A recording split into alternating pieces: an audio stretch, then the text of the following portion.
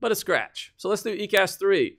This is the one that expanded it from three to four and a half hours. Okay, so before you had an argument that you should give it before three hours. Now we're going to say between three and four and a half.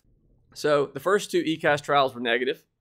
This was one of the rare trials that, for whatever reason, people weren't dying as often. Okay, and they also had a very low um, risk of hemorrhage compared to the other studies. We don't really know why, but they kind of got lucky.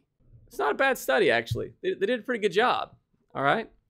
The problem is, is that if they actually followed their protocol, this one also would have been negative. I don't really like patient adjustments in studies because I'd much rather just take all comers and just see what the actual unadjusted outcome is for most of the time.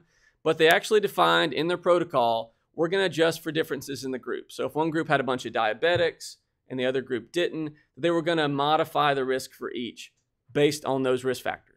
This is one way that some groups will, will de- determine in advance so they don't accidentally get in the same problem that they had in the NINDS 2, where one group is just a little sicker than the other, not because you're randomizing poorly, but just because more people showed up with one or the other. And it turns out that way more people showed up that had had prior strokes in the placebo arm. It turns out that if you've had prior strokes, you're at much higher risk of having bad outcomes because you've already stroked out once. The odds of you having future bad outcomes from it, it it's obviously a high risk population. And so they reported it as 0.03, but they just moved the decimal point. It should have been 0.003, which means that if you actually adjusted as they said that they were going to do, then it's actually a negative study.